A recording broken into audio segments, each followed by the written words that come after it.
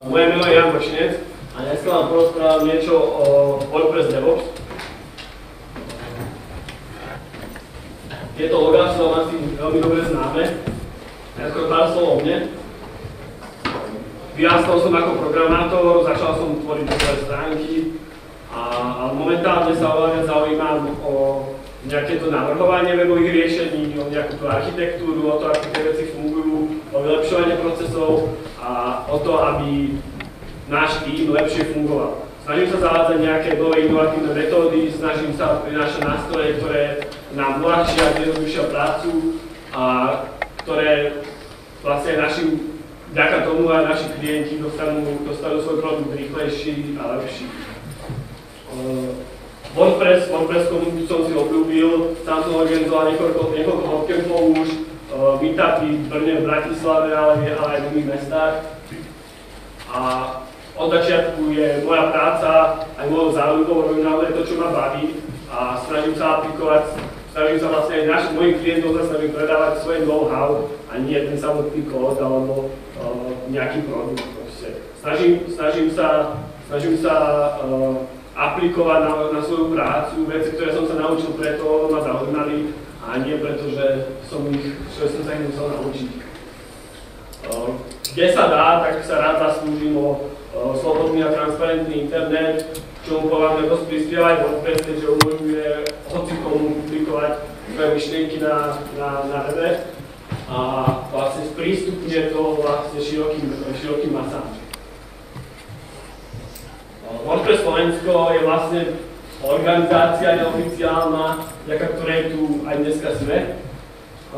Spoločne vlastne budujeme Slovenskú WordPress komunitu od roku 2009, kedy sa začali robiť prvé preklady, začali sa organizovať prvé stretnutia, vznikali, vznikali fóra a, a vlastne pár rokov na to vznikol aj prvý WordCamp, ktorý bol v Žiline. Ak chcete byť viac aktívni v rámci komunity, určite sa prihláste na náš Slack, alebo sa pripojte do niektorej Facebook skupiny, kde, kde, ktoré môžete nájsť aj na lokálnej úrovni vo viacerých mestách po Slovensku. Alebo ak uh, by ste potrebovali s niečím pomôcť, alebo by ste chceli naopak pomôcť, uh, určite navštívte aj oficiálne fórum. Po prípade začnite followovať náš Twitter. Webicon, Webicon je značka, pod ktorou fungujeme v komerčnej sfére úplne od začiatku. Uh, náš tým vlastne sa prezentuje pod touto značkou. Uh, fungujeme ako slobodná firma, teda máme takú uh, celkom voľnú hierarchiu a o fungovaní firmy sa rozhodujeme spoločne, spoločne vyberáme projekty, spolo, spoločne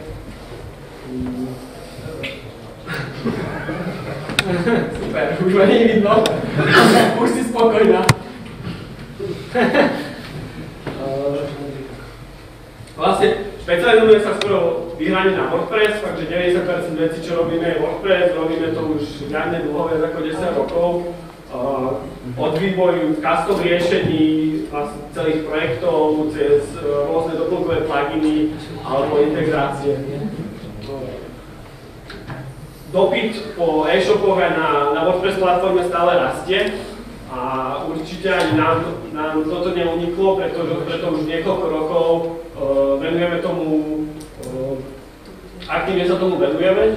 Uh, jedným takým našich produktov sú práve platobné brány SK, kde ľuďom poskytujeme integráciami s, s bankami, teda platby kartou, platby cez internet banking, alebo s fakturačnými modulmi, ako je Superfaktúra, po prípade inými treťostranovými systémami.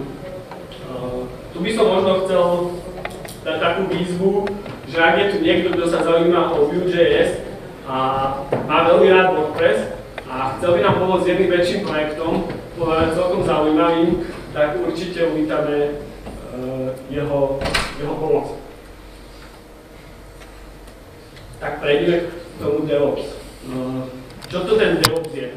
Veľa ľudí si pod tým nevie, nevie, čo si má pod tým predstaviť, ale je to v podstate úplne jednoduchá vec. Je to také sklbenie vývoja s tými operáciami, ktoré sú s tým spojené, alebo tými procesmi. Takže ako vidíte, je to dev development a ops sú operations. Uh, keď, keby sme si dobrali iba tú ľavú časť, iba ten, iba ten vývoj, tak uh, je, je veľmi veľká šanca, že vznikne dezorganizácia a niečo tomu kódu alebo tej tímovej spolupráci bude chýbať. Preto je treba nejakú takúto vrstvu, dá, ktorá dáva tomu nejakú štruktúru, nejak to usmerňuje a pomáha ľuďom vlastne spolupracovať a vyvíjať kód, ktorý, ktorý je bezpečný, ktorý je robustný a ktorý je stabilný. Kde je vlastne väčšina tímov zlyhávala? Čo sú také hlavné problémy? Prvým, prvým z nich je to, že pokým ste sám, tak je to ako tak v poriadku, že robíte si na svojich veciach, nejakú takú kontrolu nad sebou máte, ale môžete robiť na menšie projekty. Čím rastiete, čím chcete viac zarábať, čím chcete mať zaujímavejších klientov, tým musí rásť aj váš, váš tým. Uh, keď je, keď je, viac, keď je vás viacero vývojárov, nehovorím teraz, že ste jeden vývojár a jeden dizajner, lebo tam vlastne tú časť práce každý urobí, v tej prvej fáze jeden dizajner, potom nastupujete ale keď je naozaj tým vývojárov, ktorí spolupracujú, jeden robí backend, druhý robí frontend, alebo traja robia backend, dva robia frontend, tak tam, tam môžu nastavať rôzne trenice, keď uh, nemáte prehľad, kto na ktorej feature aktuálne robí, kto čo mení. A často sa vám môže stať, že, že aha, ty si toto upravoval, ale mne to teraz nefunguje, prečo mi to nefunguje a zbytočne s tými takýmito vecami strácate, strácate, strácate čas a uh, vlastne častokrát vyprodukujete aj niečo, čo ste vôbec, vôbec nechceli. Ďalš, ďalšou takou vecou, ktorá, ktorá, e, ktorá byla problémom, je, že opakujete stále to isté a stále odznova, keď začínate nový projekt, tak stále odznova si to musíte nahrať na FTP niekde alebo vytvoriť nejaké lokálne prostredie, ručne, čo vám trvá 3 hodiny.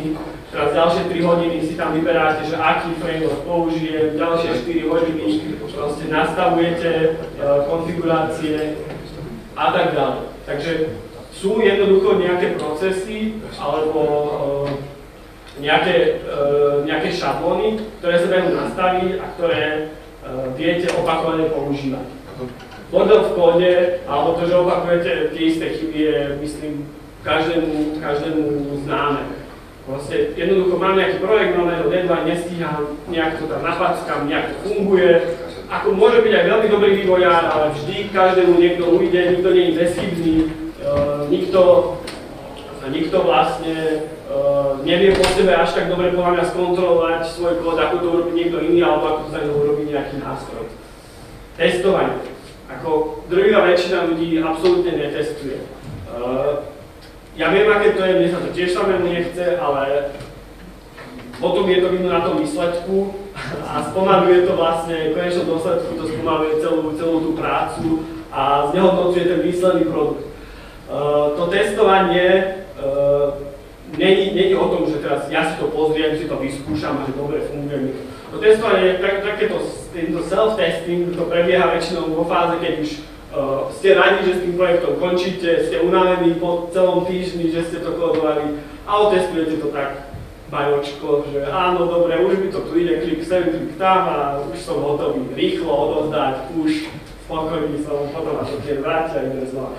No, tým, týmto, týmito vlastne vecami, ktoré sme spomenuli, tak vzniká to, že uh, tá vaša práca sa celá spomaluje, začínate nestíhať, nedodržujete deadline, nedodržujete to, čo ste slúbili klientovi a nastávajú trenice či už v rámci týmu alebo uh, pri komunikácii s klientom. Samozrejme, že čím viac ľudí je v týme, tým je ťažšia tá spolupráca, tým je ťažšie sledovať to, čo robí, ako to robí, či dodržuje nejaké štandardy alebo uh, dané, uh, dané nastavené procesy. A bez toho, aby ste to mali naozaj nejak, nejaké prostriedky, ktoré tí ľudí usmerňujú, tak uh, to začína byť veľmi komplikované. Je to už, naozaj to už pri uh, 5-6 ľuďoch začína byť niekedy problém. A to nehovorím o týmoch, ktoré narastajú proste do stoviek členov. Tam si neviem predstaviť, že bez nejakého DevOps alebo nejakého, nejakej vlastne integrácie v týme eh, by to, by to fungovalo.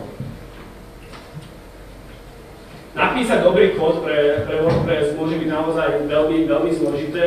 Eh, tých ten WordPress je veľmi flexibilný a nemá nejaké normy alebo nejakú jasnú normatívu, že takto to robte, ani, to, ani to jadro nevynúcuje, že takýmto, príspev, takýmto spôsobom do neho prispievajte. Tým pádom každý si to robí trošku nejak, keď s tým začínate, tak si to robíte tak, že dobre, takto mi to funguje, takto vyzerá, že je to v poriadku, ale to neznamená, neznamená že je to dobré. Preto, aby ste napísali kód, ktorý ktorý naozaj funguje, aj dobre vyzerá a ešte ho hoci kto môže prevziať a bude mu rozumieť, je pri, pri WordPresse e, veľmi zložité a je to aj zložitejšie oproti napríklad iným, e, iným CMS-kám ako, ako je Drupal. Toxický kód. Ako nikto, nikto nemôže asi čistým svedomím povedať, že nikdy nevyprodukoval toxický kód. To je presne ten kód, ktorý napíšem, zavriem to a už v živote nechcem vidieť a dúfam, že sa na neho nikto v živote nepozrie, lebo nikdy nezamestná. To je, to je určite prípad každého, každému sa to určite začiatku aspoň stávalo. Na niečo nemáte čas alebo niečo, niečo nestíhate, tak to tam nejak urobíte, zase to nejak funguje, ale do, do toho repozitára sa to, alebo do, do tej codebase sa to, sa to dostane v tom formáte, v akom ste to tam akurát dali pod to, ako ste sa mysleli samozrejme nie je absolútne. Uh, tu zase narážam na, na tie procesy, ktoré by sa dali nejak automatizovať. Snažte sa čo najmenej veci robiť ručne. Snažte sa vyhnúť tomu, aby ste museli ručne migrovať databázu, aby ste ručne museli nahrávať súbory na FTP, aby ste si museli ručne vytvárať uh, štruktúru projektu, aby ste, aby ste museli ručne inštalovať pluginy do, do WordPressu viete, že používate nejakú sadu pluginov, alebo že chcete tam použiť tieto pluginy, tak teraz chcete akože otvoríte si admin to inštalovať, teda nájsť, kliknúť, nainštalovať a znova znova 15 krát. To sú to všetky, všetko procesy, ktoré vás zbytočne zdržujú, ktoré, uh, ktoré vám často aj zoberú taký entuziasmu, že idem niečo naprogramovať, ale hovne idete naprogramovať, viete klikať vo WordPresse pluginy z všetko. Tu je, tu je zase, uh, tu zase chcem poukázať na to testovanie, že testovanie zrýchluje proces vývoja, nie spomaluje. Uh, je zložité nabehnúť na to, zvyknúť si na to, že treba testovať, uh, nájsť si systém, akým testovať a čo všetko je nevyhnutné pre vás testovať. Samozrejme zase 100% testovať úplne všetko, každý spôsob kódu niekedy nemá význam, lebo niektoré veci aj WordPresse, keďže používame aj tejto strany knižnice, už sú otestované, Uh, niektoré veci zase sú špecifické pre daného klienta, tak ich treba špeciálne testovať, ale určite aspoň nejakú, nejakú vrstvu testovania, uh, kde tam ten taký self-testing, že sa na to pozriem, že funguje mi to, to, to je testovanie, musíte to dať niekomu druhému. Keď nič iné, tak aspoň poproste kolegu, že prosím, môžeš si to rozkliknúť a pozrieť sa, ako to vyzerá, alebo môžeš si pozrieť, či na tom mojom kóde niečo nie je divné ale to je zase taký proces, ktorý, ktorý je dosť zbytočný a ktorý, ktorý zdržuje aj vás, aj toho kolegu, aj vlastne ten, ten feedback na to uh, sa, sa celý, celý komplikuje. Jedna, jedna z vecí, ktoré si klienti v dnešnej dobe dosť vážia, aj ktoré je, uh, v ktorom je IT vlastne celkovo nejak, nejak tak, že taký tieň to na ňom vrhá, uh, je práve nedodržovanie deadline Proste, keď sa stretne s hocikým, tak uh, vám povie, keď vám aj niekoho pochváli, že je, to, je to dobrý chlap, dobrý programátor, ale nikdy by nedržal deadline. To je niečo, s čím sa stretávate, keď potrebujete urobiť nejaký projekt, ak ste niekomu niečo zadávali, tak málo kedy niekto dodrží proste veci na čas a dodá vám to tak, ako slúbil a ešte aj v takej kvalite. Uh, preto, ak chcete byť dobrý a ponúka naozaj niečo navyše, snažte sa dodržovať deadline a snažte sa to klientovi odovzdať skôr. Vtedy si podľa mňa získate jeho doslova rešpekt v tomto a oveľa profesionálne pôsobíte. A dneska si možno aj ukážem niektoré nástroje alebo niektoré postupy, ktoré vám vedia pomôcť práve k tomu, aby ste ten deadline udržali. Poďme si povedať dneska, že koniec kódovaní na kolene, koniec toho, aby sme testovali veci v produkcii, a poďme dať tomu nejaký systém, nejakú štruktúru a nejaký workflow, ktorý môže fungovať uh, na úrovni celého týmu. Jedna z, takých štandardizovaných metód, ktoré, ktoré sa v dnešnej dobe používajú na tvorbu webových aplikácií, je tzv. 12-factor app. Je to vlastne sada takých 12 faktorov, ktoré by mala splňať každá jedna webová aplikácia. Pri WordPresse je to niekedy zložitejšie uh, aplikovať, lebo WordPress predsa nie, nie je taká štandardná, štandard, štandardné riešenie, alebo taká štandardná uh, enterprise aplikácia, kde, uh, ktorá je prispôsobená na to, že môžeš napríklad rovno nasadzovať do, do cloudu a podobne.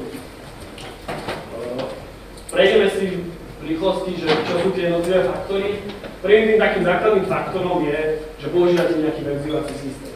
Je tu niekto, kto nepoužíva Git, SVN, Mercury alebo niečo a má na to dobrý dôvod. Je tu niekto, kto nepoužíva verziovací systém? Aj hrdý, že sa s tým prizná. Dobre, to som rád. To sme sa posunuli že sa našli nejaké experty. Možno aj teraz sú len dlhšie radšej. To verzovanie je naozaj dôležité a není to len o tom, aby ste mali vlastne nejaký prehľad vašich komitov alebo toho vášho chainnlogu, že čo tam robilo, kedy sa tam robilo, ale slúži to vlastne ako nejaký backup a umožňuje vám vlastne fakt, že skupinú prácu na, na, tom, na tom projekte alebo na tej codebase. Čas, častokrát sa vám, vám, vám to môže pomôcť dohľadať nejaké veci alebo vrátiť veci, keď sa, keď sa niečo pokazí. A um, je to, je to taký nástroj alebo um, taká technológia, ktorá je naozaj široko dostupná. Sú, sú, môžete ju používať kľudne lokálne, keď nechcete používať nejakú externú službu, ale nejaký, nejaký spôsob realizovania by ste mali mať. Uh, sú na to aj veľmi pekné, veľmi pekné klienti, teda aplikácie na desktop, ktoré vám to naozaj tak zaobalené do takého, do takého pekného obalu a veľmi jednoducho sa vám potom s tým, s tým Gitom pracuje. Druhým takým faktorom je správa závislosti alebo dependencies. Uh, PHP je to Composer, uh, JavaScript alebo Node.js je to npm Zase, veľa ľudí si myslí, že toto je príliš komplikovaná vec na môj malý projekt.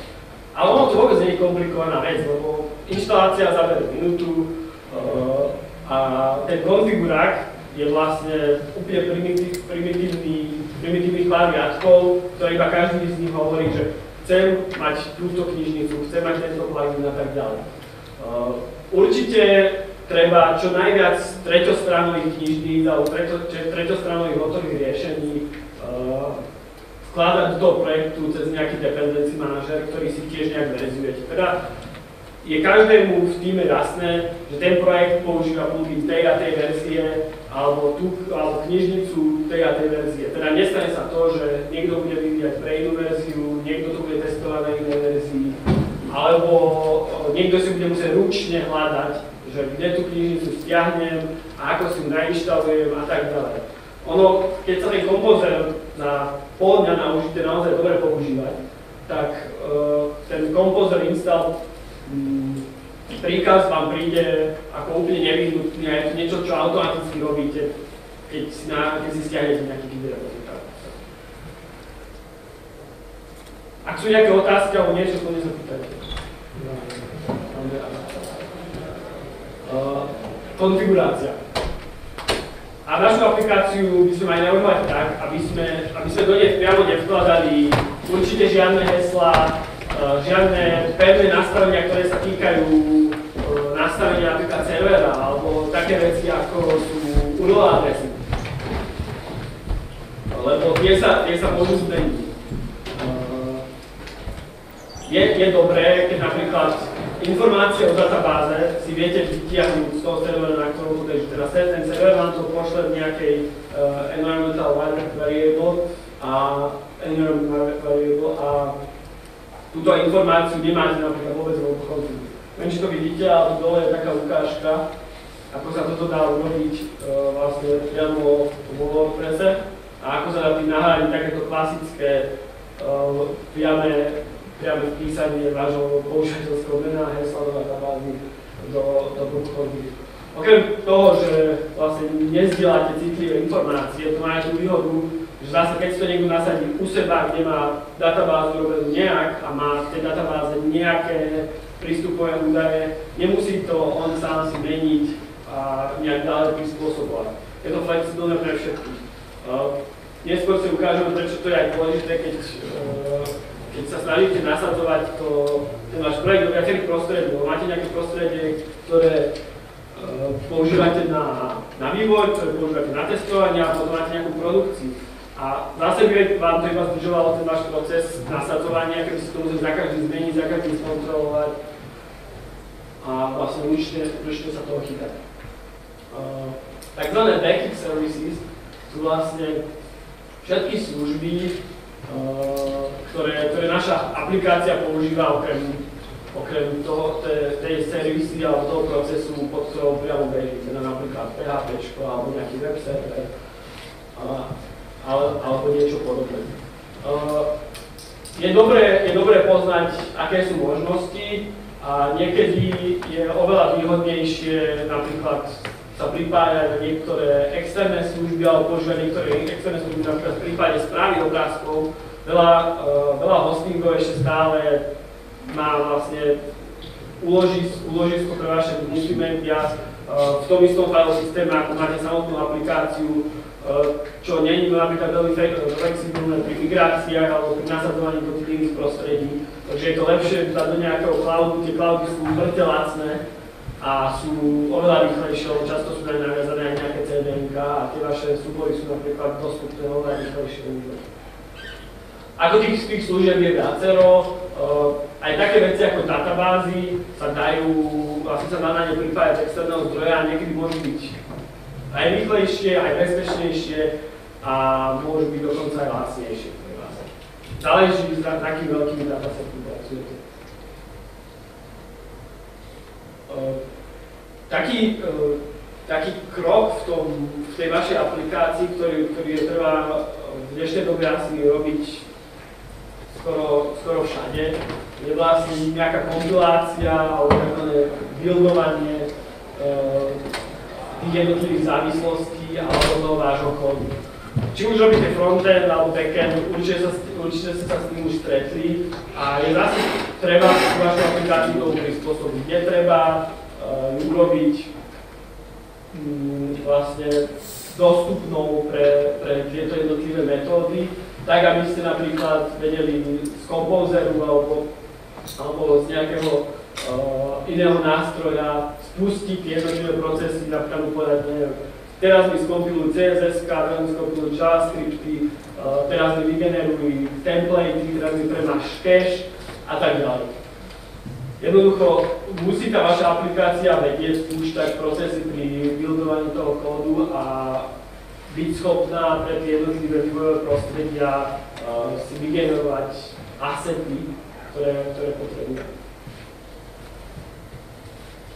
Toto by som možno iba tak, tak rýchlo prešiel, že vlastne uh, vždy sa snažíme, aby, aby tá, aplikácia bežala v jednom procese, ktorý je nejak izolovaný a ktorý ktorý vieme vlastne uh, paralelne nejak spustiť na viacerých úrovniach, aby tam bola možná nejaká uh, horizontálna aj vertikálna škálovateľnosť.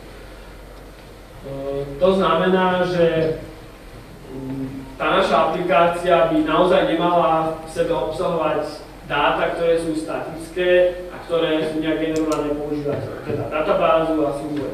Vy ste mali vedieť zobrať tú codebase tak, ako je, a teraz nasadiť na hociaký server a z neho sa pripojiť k vašim dátam, či už multimediám, alebo databáze, alebo hoci čo, čo používate nejakú treťostranovú integráciu. Uh, tam som vlastne preskočil do pár tých krokov a tie sa venovali vlastne tomu, aby toto bolo možné.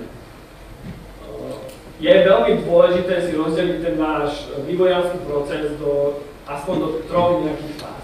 Teda máte nejaký vývojársky server, kde sa hráte, kde testujete, alebo nie testujete, kde skúšate uh, váš kód, uh, kde ho spustíte prvýkrát, uh, kde vlastne pri, sa, sa ho snažíte nejak odladiť, vychytať základné chyby a jednoducho otestovať to tak presne. Potom je tam nejaký staging server, alebo by tam mal byť staging server, čo je vlastne taký ten testovací server, kde sa ten váš kód zmieša s obsahom alebo s, s vecami z, tej produkčnej, z toho produkčného serveru, teda s tým obsahom do živej stránky, kde sa vám to vie sklobiť a vie, viete tam otestovať naozaj, že takto to bude vyzerať, keď to nasadím do produkcie a môžete ukázať klientovi, že takto to bude vyzerať, môžete mu to dať odklepnúť, že súhlasíte, že to takto bude, môžete mu to odpísať nejaký odozdávací protokol a tým pádom ste krytí, že keď sa to nasadí do tej produkcie a niečo by sa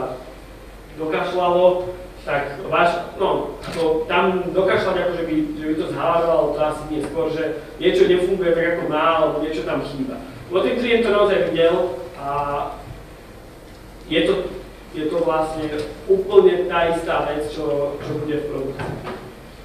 Potom je tam samotný ten produkčný server, alebo live server, kde tá aplikácia beží a kde už majú prístup vlastne normálne návštevníci stránky.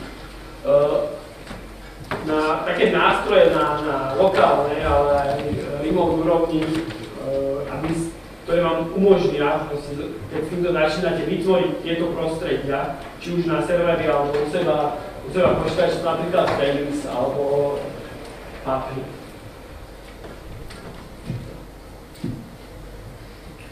Uh, logovanie.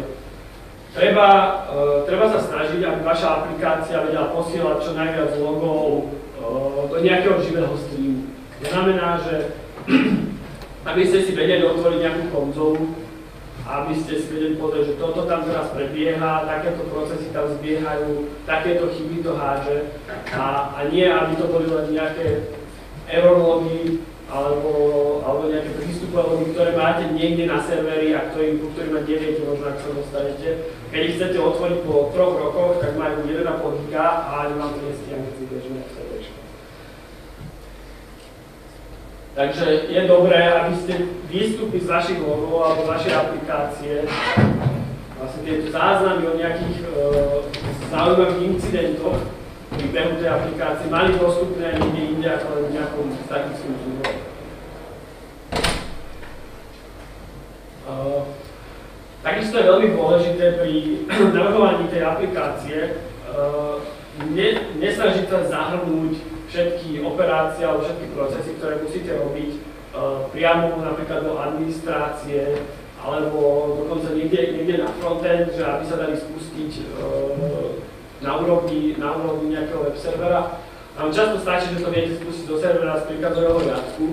Sú to často jednorázové alebo také masívne operácie, ako migrácie databázy alebo nejaký server replace na databázu, importovanie dát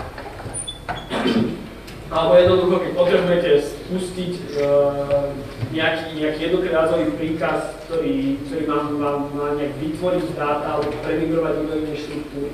Toto by mala vaša aplikácia zvládnuť bez toho, aby ste sa museli prihlásiť do admina a tam kliknúť nejaký, nejaké tlačítko, že ja neviem, sme, uh, aktu, napríklad WooCommerce to tak robí, aj veľa pluginov tak robí, že keď ide nová verzia, tak z admina vám dá, že aktualizovať databázovú štruktúru. Je zaujímavé, že to napríklad neponúkajú cez uh, ako command line. Toto neviete spustiť tento proces pri, uh, pri migrácii priamo z príkazového riadka. A musíte ísť do toho admina a tam spustiť tú operáciu. Napríklad samozrejme vy si viete napísať skript, ktorý zavolá nejakú tú funkciu, ale je to niečo, čo zaostávajú napríklad takéto väčšie, väčšie pluginy pre WordPress. A na, naozaj je to taká vec, ktorá, na ktorú by som nemalo zabúdať a nemali by s tým uh, zasielať celý, celý ten admin a vlastne zaťažovať, zaťažovať ten server tomto smere, hlavne web server. Uh, všetky, všetkých týchto 12 faktorov, okrem, okrem toho technologického hľadiska, no a no, samozrejme viesť aj k nejakej efektívnejšej tímovej spolupráci.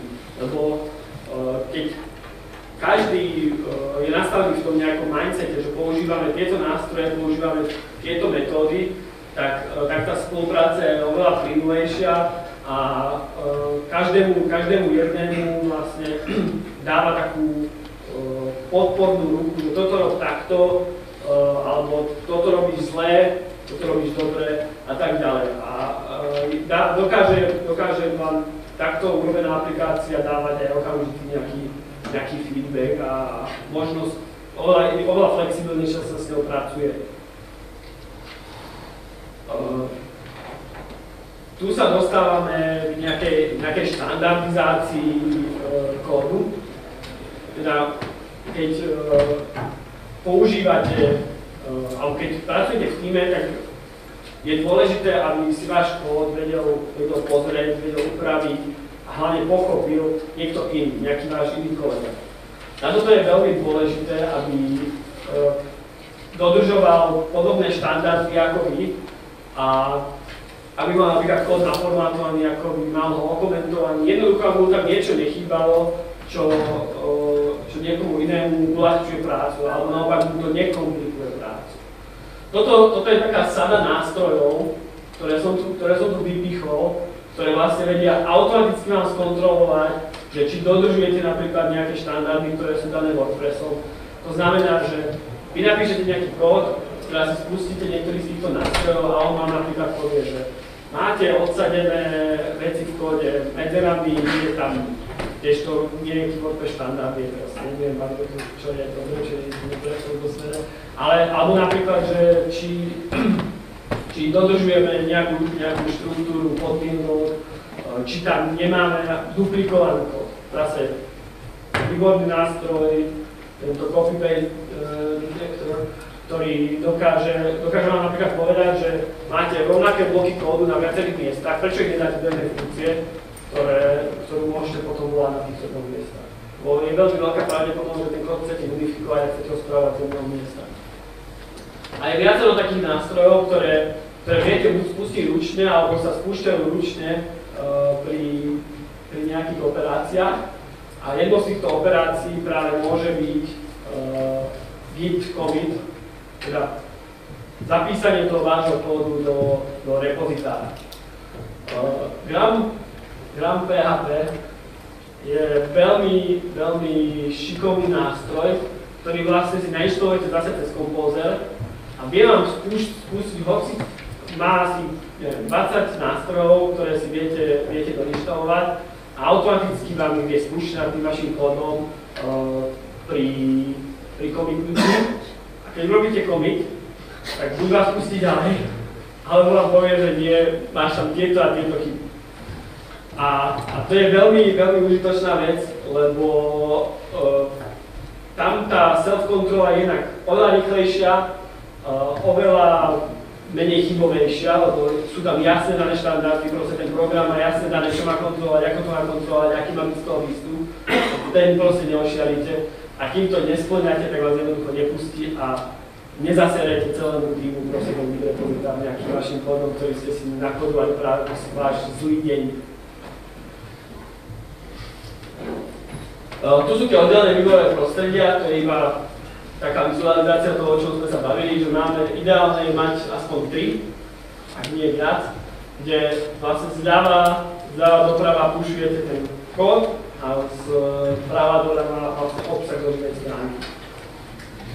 Ehm, tým, tým pádom zabezpečíte to, že tú vašu aplikáciu môžete vyvíjať vlastne na viacerých úrovniach, vo viacerých prostrediach a keď potrebujete niečo otestovať alebo potrebujete niečo opraviť, dorobiť, nerobíte to nikdy proste na stage alebo live, ale najskôr to naozaj vyvíjate v tom prvom prostredí.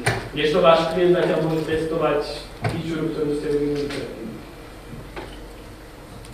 Uh, to je, to je to zostaneme testovať na viacerých úrovniach, že ten test pri písaní kódu, je napríklad ten Grand PHP, uh, kde niečo urobíte, či vám to zbehne nejaký linter v nejakom idečku a vám tam podvlnovkuje, že toto máte nesprávne, alebo vám tam dá nejaké typy, že, že toto nedodržiavate, uh, alebo, alebo si to aj nejak sami vizuálne skontrolujete, tak je tam určite tá prvá vrstva, tá kontrola u seba pri písaní toho kódu. Uh, potom je to určite pri pridávaní toho kódu do repozitára, uh, či už je to pred pridaním alebo po pridaní, obidve tieto operácie zase ten kód nejak viac vyčistia. A potom vlastne pri nasledovaní na staging tam môžu zbehnúť automatizované testy, ktoré otestujú, že či, či tá aplikácia naozaj robí to, čo má, či ten kód nemá žiadne chyby a tak ďalej. A vlastne keď dostanete na ten staging, tak tam by mala prebehnúť nejaká tá validácia, čo? Na strany klienta, že, že či je to v poriadku a či s tým, či s tým súhlasí. Toto všetko vlastne nejak smeruje k automatizácii tých vašich procesov a a urychluje a zefektívňuje tam vašu, tú vašu prácu. Samozrejme, je tam, je tam hlavne tá, tá rovina, že tie programy e, sú oveľa menej náchylné na nejakú chybovosť. Teda, keď to kontroluje človek, alebo si to kontroluje dokonca vy, je oveľa väčšia šanca, že niečo zabudnete, niečo vynecháte, e, niečo, niečo, niečo pochybíte sami aj pri tej kontrole, a urobíte chybu kdežto tie nástroje vás nepustia, pokým nesplňajú presne, presne tie nakonfigurované možnosti, ktoré sa majú. Ak chcete začať s takou 12 faktorovou aplikáciou, veľmi, veľmi dobrá cesta alebo taký začiatok je práve Bedrock. Ak poznáte Sage alebo Roots, tému predtým, tak toto je vlastne od nich taký ďalší ďalší projekt na WordPress. Uh, veľa, veľa vecí vám, veľa vecí ten Bedrock robí tak, ako sme si povedali a ukáže vám, ako, ako by sa to vlastne malo robiť, alebo ono, ono to berte ako taký boilerplate. To znamená, že uh, on nehovorí, že musíte to používať takto, ako to je. On hovorí, že toto je niečo, čo odporúčame, upravte si to do vášho workflow, ako vám to vyhovuje alebo na vaše projekty.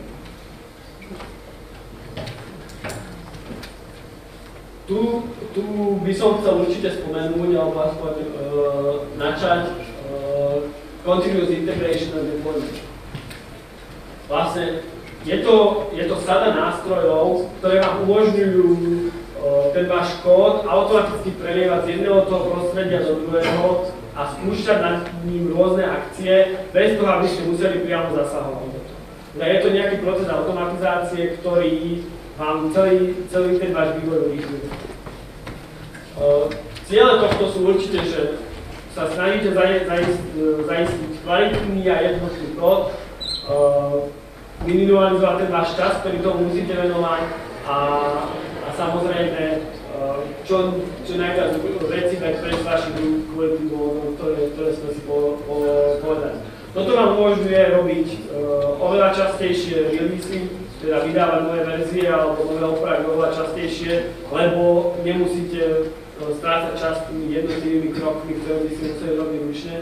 A tým pádom viete, viete vlastne uspokojiť klienta oveľa skôr.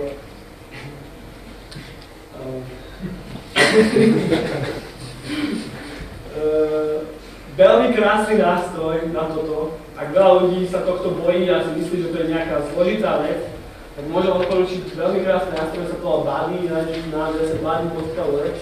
Je to nádherné uličko, uličko na ovládanie kontinuálnej integrácie, ktoré vlastne, ktorú si doslova naklikáte, čo všetko má tá vaša, alebo aké akcie sa majú spúšťať napríklad pri spúšnutí do toho vášho repozitára.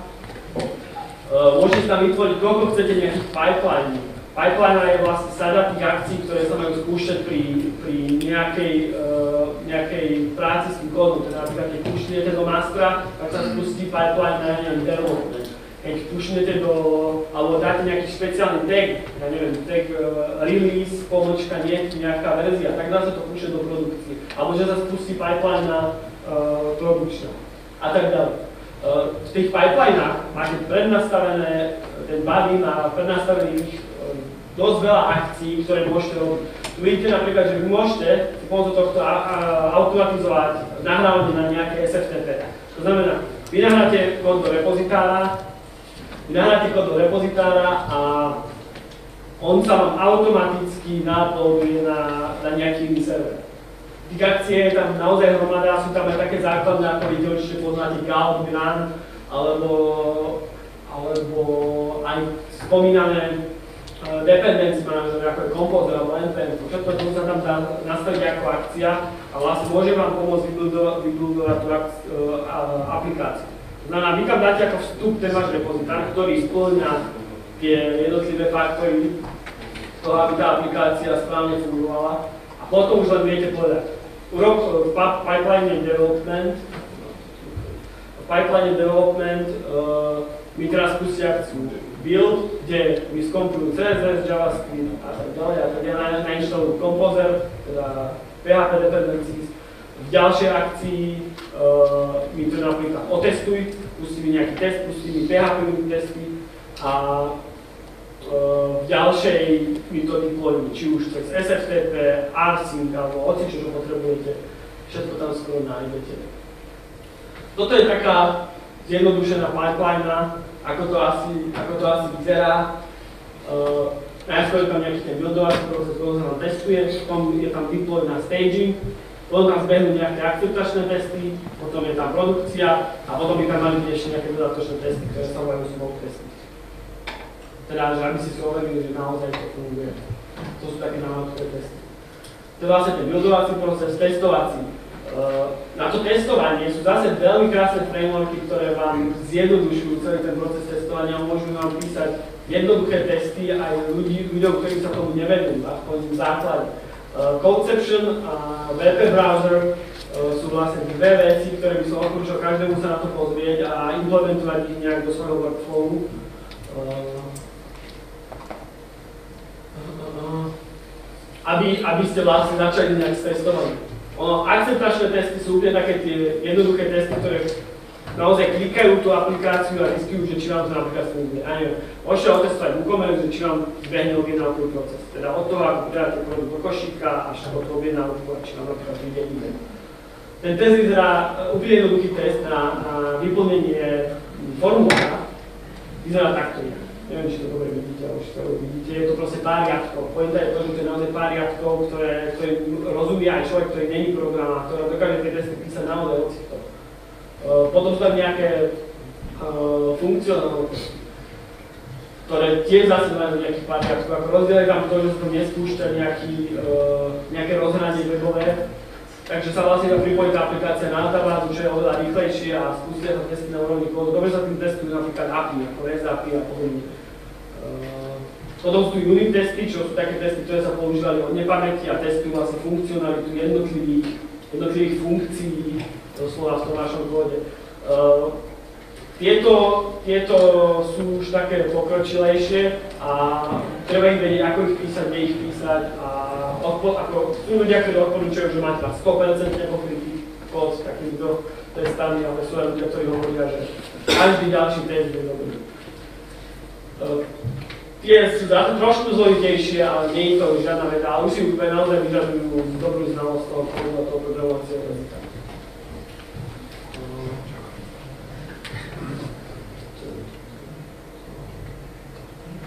Ešte jeden nástroj, ktorý by som tu určite spomenul pri akceptačných testoch, vlastne nasadení do toho stagingu je tento Gauzy Inspector.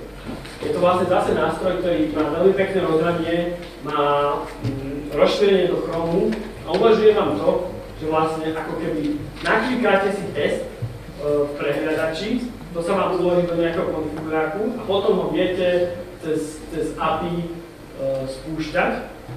To znamená, neviem, máte testovací WooCommerce Shop, otvorte si tento WooCommerce Shop, zapnete to externú stranu a teraz spojete, že chcem nahrať, začnete zapnúť nahrať. Kliknete pridať produkt, kliknete ukázať koši, kliknete zaplatiť, či čo tam je checkout, uh, kliknete zaplatiť, on vám toto všetko nahrá a on potom samo už vie, že ktoré tie elementy má vyklikať alebo vyplniť. Keď vyplníte formulár, on toto vie urobiť všetko za vás. Je to naozaj úplne jednoduché vlastne si to sami za 5, ako taký test treba na 50 minút naklikať e, na, na taký obyčajný web. Ako potrebujete aspoň 12, 13 samozrejme, že tak, aby to pokrylo všetko na tom webe, ale je to aspoň ten základ, ktorý si neurobi naozaj každý. Ten nástroj je v tej základnej verzii, čo podľa mňa pre, pre, bežné základné testovanie vo vývojovej fáze úplne stačí.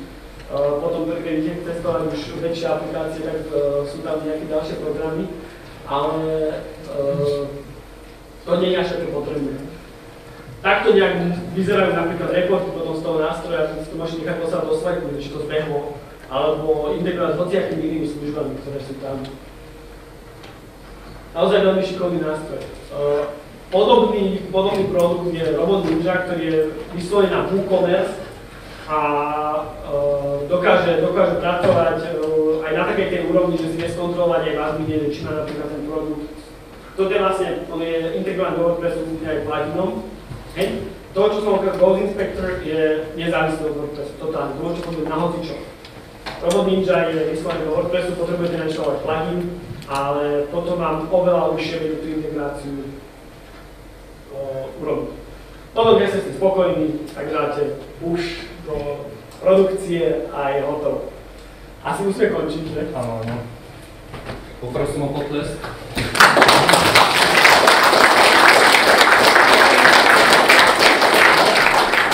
Máme priestor asi na dve otázky, tak sa si niekto spýta. Chcem sa spýtať, či si vytvárate v agentúre nejaké checklisty pri tom testovaní, že aké nástroje používate, alebo To je knowledge base, ale no, no, že je tam nejaký nový človek, alebo aby tie výstupy boli mali podobnú kvalitu. No, snažíme sa o to, ale nemáme to vôbec nejaké kompletné a je to skôr také, že dosť dynamické by som povedal, že stále experimentujeme s tým, čo sa dá používať, čo sa nedá používať a, a práve také začlenenie nového člena do týmu nemá to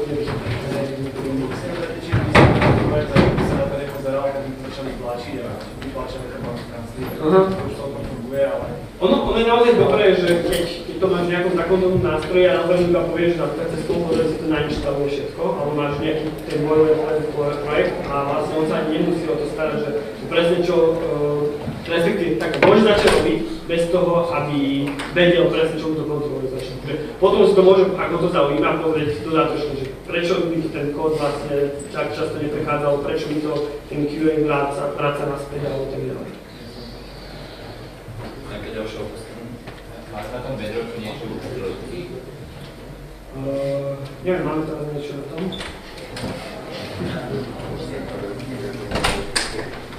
Uh, neviem, priamo, priamo, priamo čist, na čistom nemáme nič. Na čistom bedroku. Bola skôr taká ukážka toho, že tam, tam sa dá začať. na tom. Ja sa ťa chcem opýtať, čo používate na nejakú tímovú komunikáciu? Uh, používame Slack, používame Asana. Nejaké? Trello. Ako hlavne, hlavne je to Slack a Asana. Posledná otázka niekto? Ja som ešte chcel, že robí- robíte ten projekt platobné brány, neplánujete aj implementovať Bitcoin alebo? Plánujeme, uh, tiež zvažujeme možnosti, že aké sú tam, lebo nerozhodli sme sa ešte jednoznačne takto, by sme to chceli robiť a ani nemáme zatiaľ nejakého takého partnera, ktorý, ktorý by to chcel integrovať. Bolo to vôbec v nejakom takom rozsahu, ktorý bolo pre nás zaujímavé. Ďakujem ešte raz.